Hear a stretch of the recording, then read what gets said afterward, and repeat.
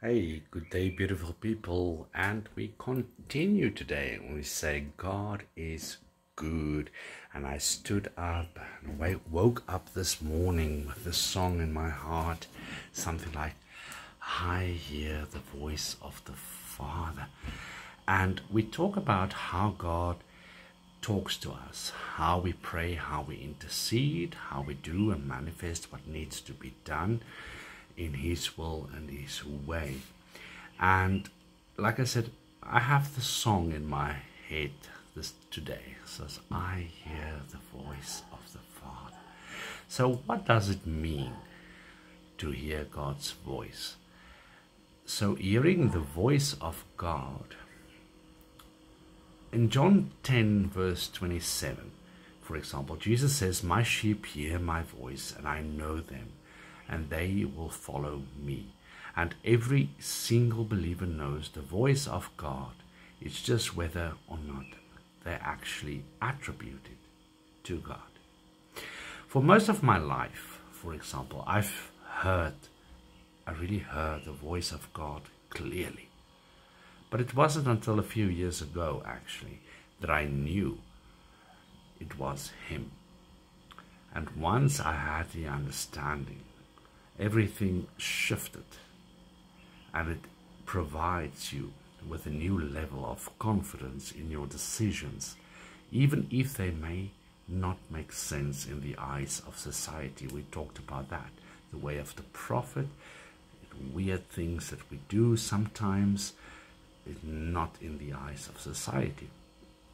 So God wants a relationship with you, and He wants a relationship with me as well.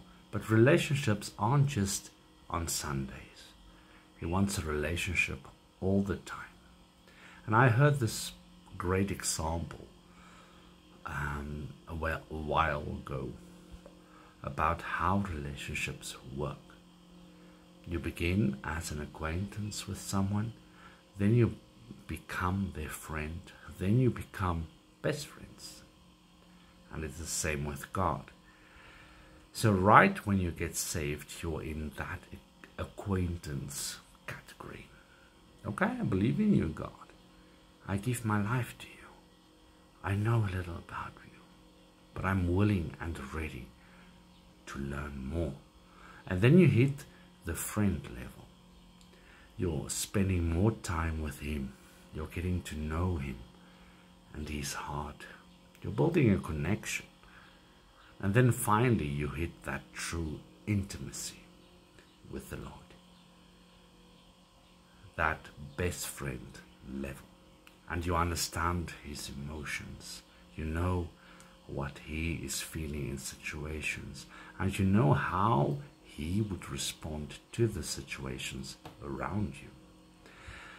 That best friend, intimate level is what we grew, what we were, what I believe, what we were created for. It's how we bring heaven to earth in all that we do. So, how do you get there? Well, you spend time with Him, spend time in the Word. Knowing the Bible is crucial spend time in worship, spend time in prayer, and spend time in silence, a moment of silence, complete silence, to listen, and expecting for Him to speak. And then you listen. Half of communication is listening. So, uh, in the Old Testament, for example, God spoke spoke audibly a lot of the time. And he still can today, obviously. But things are a little bit different than the Old Testament ways. And now we have the Holy Spirit inside of us. And he's constantly wanting to be in communication with us. So in the Bible, there are two Greek words um, for the word word. The first is Logos, which is the inspired word of God and also a name of Jesus, who is the living word. Then this other second Greek word we see in scripture is rhema, and the Rhema word of God. This is more of a kind of whisper from the Holy Spirit on what we are supposed to do and how Scripture relates to the here and the now. It's God speaking in the moment. So sometimes you may receive a Rhema word from God that directs you to a certain passage of Scripture that applies to your current situation. So the way that God speaks is different for everyone. We understand that. But a lot of the times it is still a small whisper. It's a gut feeling. And you just know. For some people, it's a thought that just rushes in and it's nowhere close to what you had been thinking about. Sometimes it's a dream, sometimes it's a picture, like a vision, picture that you see either with your eyes open or your eyes closed, the way that you pray. Sometimes it's a sense of peace and joy that covers you, your body in a moment of chaos. And sometimes it's wisdom in a situation. And sometimes God speaks to you for your for what you're going through.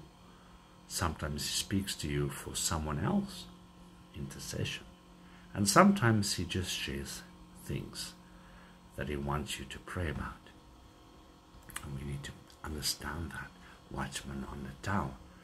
And one thing I will say is that when sharing with others about what God has shared with you, a great way to phrase it is something like, I feel like God told me. I know that God told me. Or I'm sensing that God is saying this, that, whatever. Because if you make claims that God said something and you're wrong, well, that could mess up someone else's relationship with God. And that is why I say it's so important to make this discernment when you pray and when you intercede. And you don't want to be accountable for that, of course. At the end of the day, what all of it boils down to is that is that he just wants to be in communication with you the way that he originally intended for it to be. It's not a weird thing. It's literally what you were created for to have that relationship with God, the Creator, your Father. I hear the Father's voice. So spend time with Him. Spend time in the Word, in prayer. Spend time in silence and listen because He wants to speak. And then you say, Lord, speak. I listen. I hear the voice of the Father.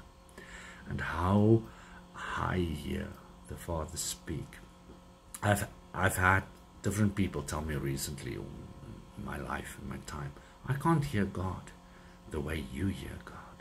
Well, I know I am the Father's chosen. I know Him. I know all of His children are His favorite. So to hear Him speak is something that we should all expect. Expect it. And let's start with the basics in this case. First, the Father spoke, and the visible and the invisible came into being. And when he sent his Son, a title he accepted was the Word. Yes, there are seasons when the test is on and the teacher is silent. But the normal experience for a follower of Christ is to hear the Father's voice. And you see, if you're on a, for example, if you are on a wireless network, as you read, listen, you're wireless, and those network waves are passing through you with a little or no effect. And the only way you and you, your cell phone, your laptop, the way that you listen and read things up can connect to the internet is because you found an open network or put in the proper password to overcome the encryption. And you need the laptop, for example, or your cell phone or something to pick up the network. And you need that software to be properly configured. And the Father is almost always speaking to you as his child. You are the laptop, for example. You are the cell phone. And all you need to know is how to properly configure the software. And it is important that this software, bear with me with this one, is properly configured because you need to hear the voice of the Father. And his voice protects you from all kinds of mistakes. And I make a lot of mistakes. I am so all over. And Job 33, verse 70 to 18 reads, In a dream, for instance, a vision at night, when men and women are deep in sleep, fast asleep in their beds.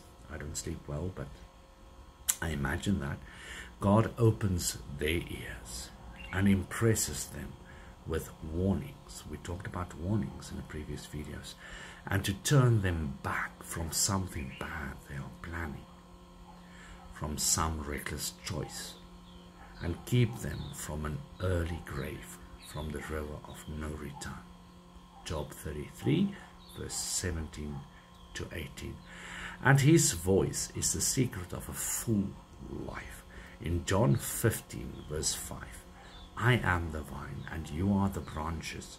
When you're joined with me and I with you, the relation intimate and organic.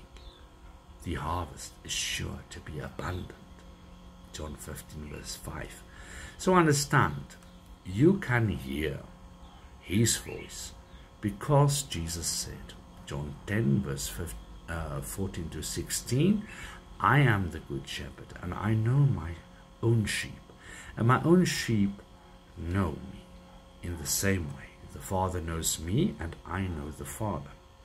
And I put the sheep before myself, sacrificing myself if necessary. You need to know that I have other sheep in addition to those in the pen. And I need to gather and bring them too.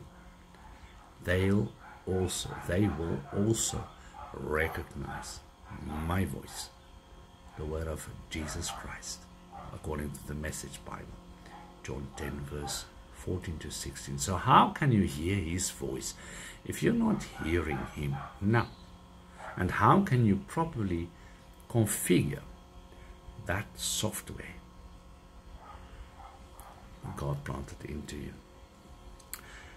Well, let's think about this. Let's pray about this. We're going to switch metaphors to metaphors now to something more biblical. Because Jesus addresses how we prepare our hearts in a parable, which is recorded in Luke 8, verse 4 to 15. And the parable is, I'm going to read that. As they went from town to town, a lot of people joined in and traveled along, and he addressed them using the story.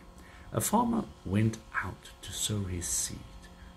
Some of it fell on the road, it was trampled, trampled down, and the birds ate it.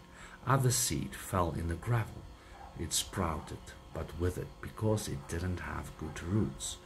Other seed fell in the weeds, and the weeds grew with it and strangled it. And other seed fell in rich earth and produced a bumper crop. Are you listening to this? Are you really listening? His disciples asked, Why, Lord, did you tell this story? And he said, You've been given insight into God's kingdom. You know how it works. And there are others who need these stories. But even with stories, some of them aren't going to get it. Their eyes are open, but don't see a thing. And their ears are open, but they don't hear thing.